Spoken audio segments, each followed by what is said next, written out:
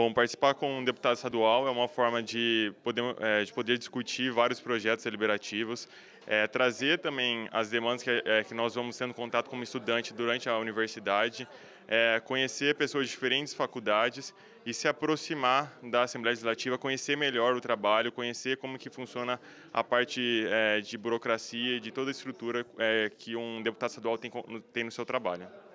Qual é a expectativa? Está animado?